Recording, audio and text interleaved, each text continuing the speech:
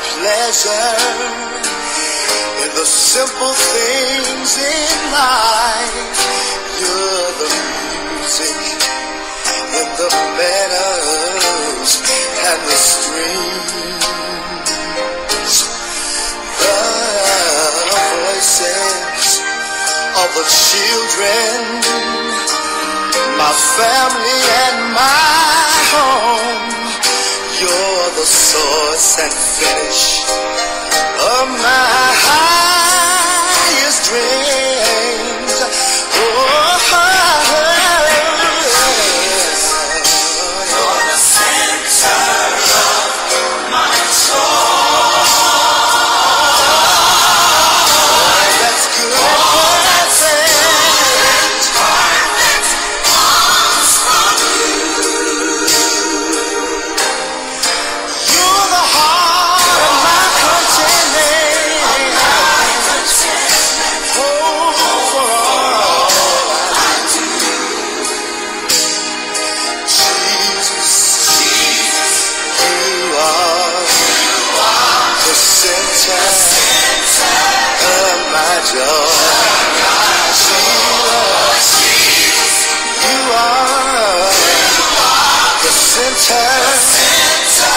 my joy.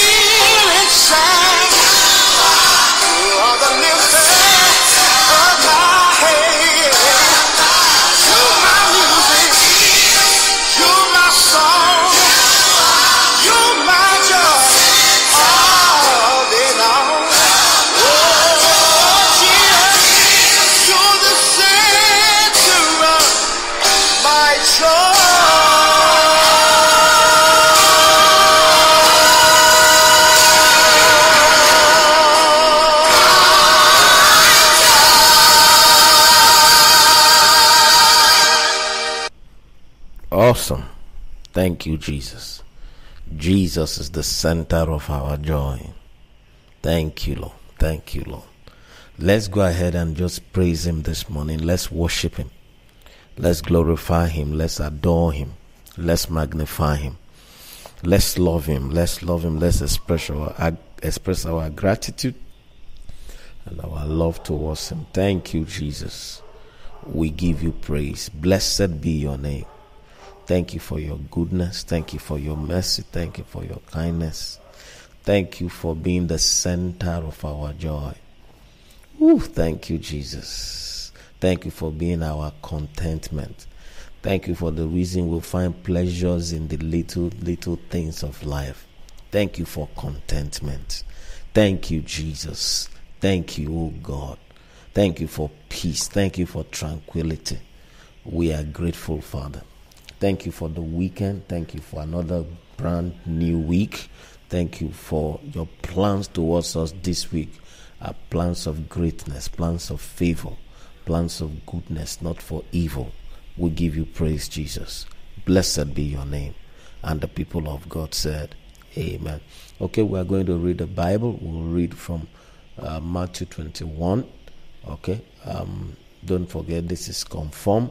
At conform, we sit at the feet of Jesus uh, so that He will walk on us, walk on our hearts, and help us to conform more and more to Him in all ramifications of life. Matthew chapter 21.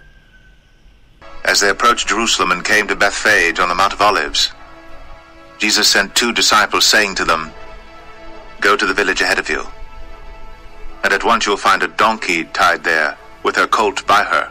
Untie them and bring them to me. If anyone says anything to you, tell him that the Lord needs them and he will send them right away. This took place to fulfill what was spoken through the prophet. Say to the daughter of Zion, See, your king comes to you, gentle and riding on a donkey, on a colt, the foal of a donkey. The disciples went and did as Jesus had instructed them. They brought the donkey and the colt, placed their cloaks on them, and Jesus sat on them. A very large crowd spread their cloaks on the road, while others cut branches from the trees and spread them on the road. The crowds then went ahead of him, and those that followed shouted, Hosanna to the Son of David! Blessed is he who comes in the name of the Lord! Hosanna in the highest! When Jesus entered Jerusalem, the whole city was stirred and asked, Who is this? The crowds answered, This is Jesus, the prophet from Nazareth in Galilee. Jesus entered the temple area and drove out all who were buying and selling there. He overturned the tables of the money changers and the benches of those selling doves. It is written, he said to them, My house will be called a house of prayer, but you are making it a den of robbers. The blind and the lame came to him at the temple, and he healed them. But when the chief priests and the teachers of the law saw the wonderful things he did, and the children shouting in the temple area, Hosanna to the Son of David, they were indignant. Do you hear what these children are saying? They asked him. Yes, replied Jesus. Have you never read? From the lips of children and infants you have ordained praise. And he left them, and went out of the city to Bethany, where he spent the night. Early in the morning, as he was on his way back to the city, he was hungry. Seeing a fig tree by the road, he went up to it, but found nothing on it except leaves. Then he said to it, May you never bear fruit again. Immediately the tree withered. When the disciples saw this, they were amazed. How did the fig tree wither so quickly? They asked. Jesus replied, I tell you the truth.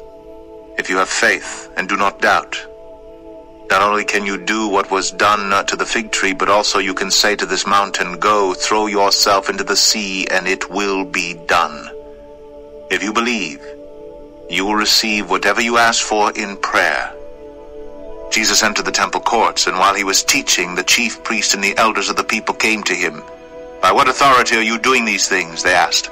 And who gave you this authority? Jesus replied, I will also ask you one question. If you answer me, I will tell you by what authority I am doing these things. John's baptism, where did it come from? Was it from heaven or from men? They discussed it among themselves and said, If we say from heaven, he will ask, Then why didn't you believe him? But if we say from men, we are afraid of the people, for they all hold that John was a prophet. So they answered Jesus, We don't know. Then he said, Neither will I tell you by what authority I am doing uh, these things. What do you think? There was a man who had two sons. He went to the first and said, Son, go and work today in the vineyard. I will not, he answered. But later he changed his mind and went. Then the father went to the other son and said the same thing. He answered, I will, sir. But he did not go. Which of the two did what his father wanted? The first, they answered. Jesus said to them, I tell you the truth. The tax collectors and the prostitutes are entering the kingdom of God ahead of you. For John came to you to show you the way of righteousness, and you did not believe him. But the tax collectors and the prostitutes did. And even after you saw this, you did not repent and believe him. Listen to another parable. There was a landowner who planted a vineyard. He put a wall around it, dug a winepress in it, and built a watchtower. Then he rented the vineyard to some farmers and went away on a journey. When the harvest time approached, he sent his servants to the tenants to collect his fruit. The tenants seized his servants. They beat one, killed another, and stoned a third. Then he sent other servants to them, more than the first time, and the tenants treated them the same way. Last of all, he sent his son to them. They will respect my son, he said. But when the tenants saw the son, they said to each other, This is the heir. Come, let's kill him and take his inheritance. So they took him and threw him out of the vineyard and killed him. Therefore, when the owner of the vineyard comes, what will he do to those tenants? He will bring those wretches to a wretched end, they replied. And he will rent the vineyard to other tenants who will give him his share of the crop at harvest time. Jesus said to them, Have you never read in the scriptures? The stone the builders rejected has become the capstone. The Lord has done this, and it is marvelous in our eyes. Therefore I tell you, that the kingdom of God will be taken away from you and given to a people who will produce its fruit. He who falls on this stone will be broken to pieces, but he on whom it falls will be crushed. When the chief priests and the Pharisees heard Jesus' parables, they knew he was talking about them. They looked for a way to arrest him, but they were afraid of the crowd because the people held that he was a prophet. Hallelujah. Praise God. The reading of God's word is blessed in Jesus' name. All right. We, uh, it's conform. We still are learning how to conform to Jesus in power and in authority, how to walk in the level and dimension of power and authority that Jesus walked. We have said several, so many things about it. One of the fact is that we already are vested with the same power that Jesus was vested with. The same power. All authority in heaven and on earth has been given to me, He said, That authority is inside us. That power is inside us. Praise God. He's seated on the right hand of power. We are seated with him on the right hand of power. So we've been looking at how to release power. We looked at several keys. We looked at the key of brokenness last week. This week, I want us to look at the key of faith. The key of faith, all right? Um, faith is so vitally important in our Christian walk. You know, many and many people think they understand what faith is, but they do not understand what faith is. And that's why faith does not work for many people because many people misconceive it. Okay? Um, the simple I, I will go about it like this i will not define it the way it's all, always defined in church i'll break it down into three components and um, understanding what it is is more important than than knowing its definition all right faith is is wholesome is complete if it has three components in it. faith must have three components for him for it to be wholesome, for it to be productive, resultful. Okay, faith must start with conviction. There must be a belief. Okay, strong belief. And then faith must also have a confession. Okay, there must be speaking of what is believed. And then faith must have a conversation that's a behaving or a, an acting upon what is believed. So faith believes, faith speaks what is believed, and faith acts on what is believed. Confession, sorry, conviction, confession, and then it is crowned by conversation. Conversation, three C's there. Now, if any of this is not in place, faith is not complete. And many times, uh, okay, if any of this is not in place, faith is not complete. And you know, that's when faith begins to be to get results by accident.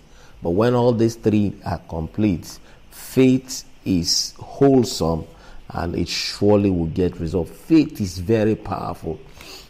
I've tried to walk in faith, learn to walk in faith for, for several decades, and I've come to the conclusion that faith is powerful. Faith is powerful. Praise God. All right. So this morning, I want us to concentrate on the conviction aspect of faith, okay, which is the belief. Faith starts with believing, believing that that that something is. Okay? Not believing only the promises. Now let me say this before i go on. The reason that many people's faith is not strong enough is because they believe they try to believe only the promises of god but they do not believe the whole gospel. For your faith to be strong you have to believe the whole gospel.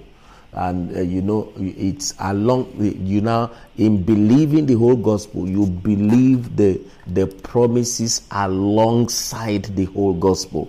It's so important. What is the whole gospel? Jesus came as a human he died on the cross of calvary. He was buried and he went to hell for our our our sake. And then he resurrected. When he died we died with him on the cross of calvary. And all that all our shortcomings were nailed with him. Praise god. We have to believe that it is after you have believed that that you'll be able to believe successfully the promises bible says all the promises of god in him are yea and amen all the promises of God in Him are yea and amen. We can't separate believing the promises from believing the message of the cross or believing the message of the Christ. Praise the Lord. Okay, so believing is very important. The word believe was first used in Genesis chapter 15, verse 6. Bible says that Abel, Abraham believed and it was counted to him for righteousness. He believed and it was counted to him for righteousness. He believed and it was counted. It's important that we believe, we believe, we believe the gospel. We believe the resurrection of, of from the dead. We believe that we have been saved from sin. Many people find it difficult. That's why many people struggle with sin. They they have not come to a point where they believe that they have been saved where they believe that they are they died with Christ on the cross of Calvary and they have been resurrected. Many don't believe that they are seated with Christ on the right hand of power. You have to believe that. It is having believed that you'll be able to believe the promises Praise God. Uh, so the promises are, are little. If you believe that you are seated in the boardroom where things are being discussed, where life issues are being determined, where what happens to who is being determined, then you will not find it difficult to believe that all things are already yours. Praise God. Faith starts with believing. Faith starts with believing. Faith starts with believing. Bible says you shall have Okay, faith starts with believing It's so very important. It's so very important. Let's see a couple of scriptures about believing. Let's okay, Isaiah 53 verse 1. Who has believed our report, and to whom is the arm of the Lord revealed? Who has believed our report, and to whom is the arm of the Lord revealed? Okay, it is the person that believes God's report that the arm of the Lord will be revealed. Glory to God. Uh, who has believed our report, and to whom is the arm of the Lord revealed? Until you believe, you cannot see the hand of God. In other words, until we believe, we cannot see the move of God. Praise the Lord. Praise God. Praise God. Okay, several scriptures on believing, several scriptures on believing. Or let's see if we can take Matthew chapter 8, verse 13, for example. This was the story of the centurion. Jesus uh, uh, uh, told him, He said, As you have believed, so be it on you to you. As you have believed, so be go your way. As you have believed, so be it on you. What was happening? The his servant was about to die, and he came to Jesus, and they said he needed the servant to be. So Jesus wanted to follow him. He said, No, don't follow me. Ah, you are too much to follow me now. Just speak the word only, and my servant will be healed. So Jesus was marveled at that faith and he said, As you have believed. Okay, so uh, I was saying that conviction must be uh, uh, must be escorted with confession and conversation. Look at that man. He believed it. He came looking for Jesus and he said what he believed. Exactly the, the woman with the what the woman with the issue of blood did. She wherever she was believed that if she uh, uh, touched the hem of Jesus' garment, she may be healed. So she came, how, how, despite how frail she was, she came and she touched the hem of the garment. Bible says she said within herself. Okay, so your believing must be escorted by your confession and then it must be backed up by your action, your conversation. Praise the Lord. Matthew chapter 9, verse 28. Believe ye that I'm able to do this? Jesus asked those blind men believe ye that I'm able to do that? And they said yes. And then Jesus said, go and then receive your sight. And Bible said they received their sight. Praise the Lord. I said, praise God. Okay. Um, um, uh, um, several, several scriptures. Matthew chapter 9 verse 23. If you can believe, all things are possible to him that believeth. If you can believe, all things are possible to him that believeth. Matthew 21 22. All things whatsoever you pray, when you pray, when you, all things whatsoever you believe, all things whatsoever you ask, sorry, in prayers, in praying, when you pray, believe and you shall receive it. All things whatsoever you ask in praying, believing, you shall receive it. All things whatsoever you ask in praying, believing, you shall receive it. Believing is very powerful. When he went to his village, he could not do mighty works, and it was because of their unbelief. Bible says he there did not do many mighty works there because of their unbelief. He could not do mighty works there because of their unbelief. One time, that's Matthew 13 58. Matthew 13 58. One time they came to him and they asked him, um, Why could we not cast out that devil? The disciples were asking. And he told them, It's, it's unbelief. He said, Because of your unbelief. He said, because if you believe in, if you, if you believe in your heart, if you say to this mountain, be removed, and you believe in your heart and doubt not, he said this mountain will get away and it, and it will be moved. Believing is powerful. What makes so? Why does people's many many people's belief fail? Number one, they don't believe the whole gospel. They want to believe the promises in isolation. Number two, their believing is not pure. It is mingled with unbelief. One minute they are believing, the next time they are, they are, they are uh, not believing.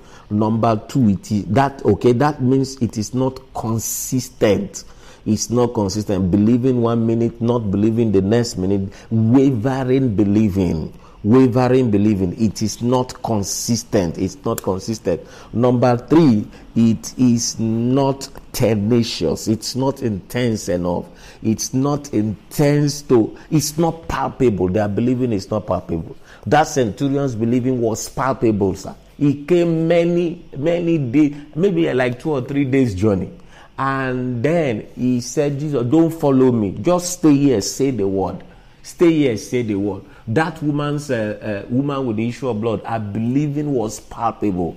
Uh, she had suffered she had bled for 12 years. She must have had cancer of the cervix or cancer of the uterus but she came despite how frail her believing was tenacious. Then many people's uh, faith uh, believing doesn't work because it's not backed by actions. It's not backed by actions. And then many people don't hold on to their believing. When they see contrary situations they begin to believe differently so in order to fortify you fortify your believing your conviction today let your con- conviction be pure and let it be broad.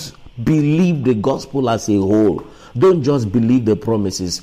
All the promises of god in christ in christ in him are yea and amen. All the promises are a part and parcel of the christ life believe that you are the righteousness of god in christ jesus.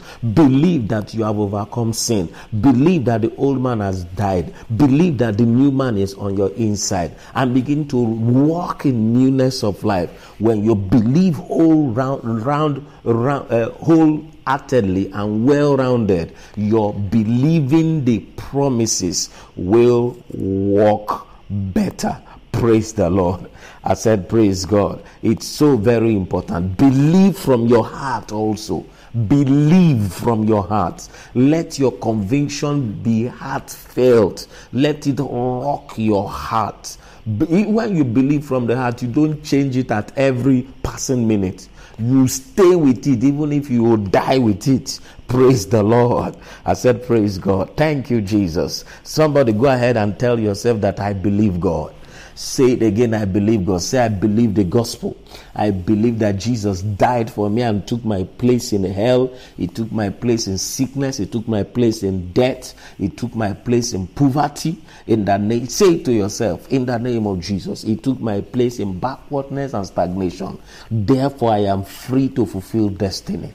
In the name of Jesus, Jesus took my place in misfortune. Therefore, I am favored. Wherever I turn, I am favored in the name of Jesus. I believe that Jesus is seated in the heavens in the place of power.